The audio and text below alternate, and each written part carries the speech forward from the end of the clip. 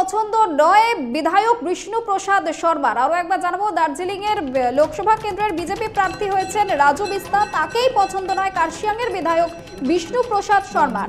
মূলত সে কারণে নির্দল প্রার্থী হিসেবে মনোনয়ন পত্র জমা দিয়েছেন বিষ্ণু প্রসাদ একই সঙ্গে তিনি বিজেপির বিরুদ্ধে আর একটি অভিযোগও তুলেছেন। পৃথক রাজ্যের দাবি সংক্রান্ত প্রতিশ্রুতি থেকে দূরেই থাকছে বিজেপি, অথচ এই প্রতিশ্রুতি দেওয়া হয়েছিল। তবে মজার ব্যাপার, বিজেপি তথা বিজেপি প্রার্থীর সমালোচনায় সরব হলেও বিজেপির বিধায়ক পদ থেকে ইস্তফা দেননি তিনি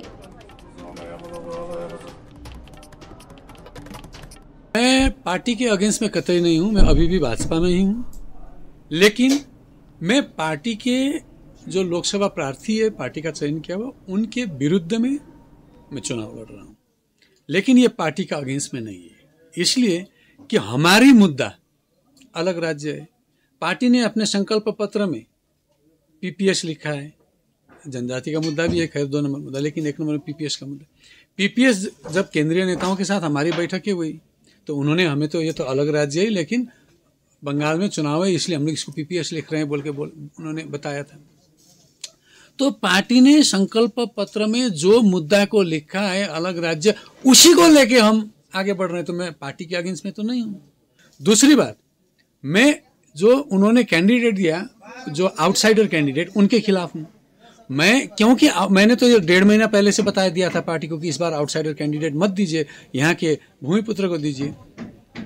ये मैंने इसलिए कहा कि आदरणीय प्रधानमंत्री नरेंद्र मोदी जी ने वोकल फॉर लोकल कहा।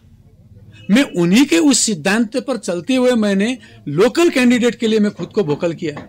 मैं एक ही बात कहूँगा, लोकतंत्र में सबको अधिकार है चुनाव लड़ने का। मेरो, मेरी तरफ़ से उनको शुभकामना है, वो लड़े और आगे बढ़े।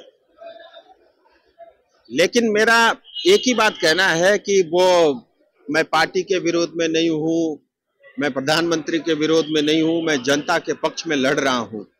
बेहतर होता, जनता के पक्ष में लड़ रहे होते तो अच्छा ये होता तो एमएलए सीट से पहले वो रिजाइन करते। तो मुझे लगता है उनको थोड़ी सहानुभूति उस चीज़ की मिलती। लेकिन एमएलए भी बना रहूँगा और मैं चुनाव भी लड़ूँगा। साफ़ दिखता है, उनको सांसद बनने का बहुत इच्छा थी और पार्टी ने वो इच्छा पूर्ति के लिए उनका नाम घोषित नहीं किया। सो, ये हो सकता है। और मुझे लगता है कि हमको धैर्य के साथ, अगर हम जनता और क्षेत्र के हित में काम करना चाहते हैं, धैर्य के साथ पॉजिटिव सोचने की आवश्यकता है। अपनी ईगो में कई बार जो हम डिसीज़न लेते हैं, वो समाज के लिए भी हानिकारक होता है व्यक्तिगत रूप से भी हानिकारक होता है।